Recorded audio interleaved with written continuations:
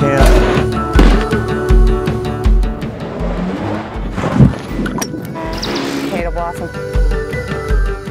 Sometimes we'll just sit back and take a look around and it, we're very lucky to have what we have here.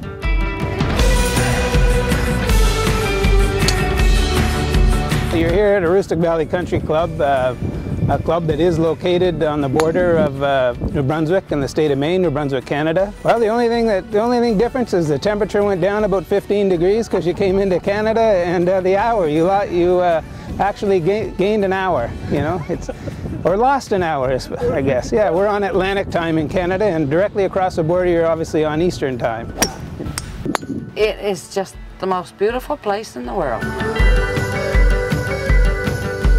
I don't think it's any secret that back in the 1929 there was prohibition. Uh, you could probably see that there was advantages to having a clubhouse located directly across the border in Canada for possibly some of the American people to, uh, to be able to enjoy uh, a drink of alcohol. But uh, thank goodness prohibition is long but gone. Because of the longevity of the golf course, because of our story, because of uh, some of the people that we've been lucky enough to have come visit us. We actually had Sam Snead come and open up our back nine back in 1957. Um, the, the place is pretty well known. Well, I do? Do save you a bunch of time?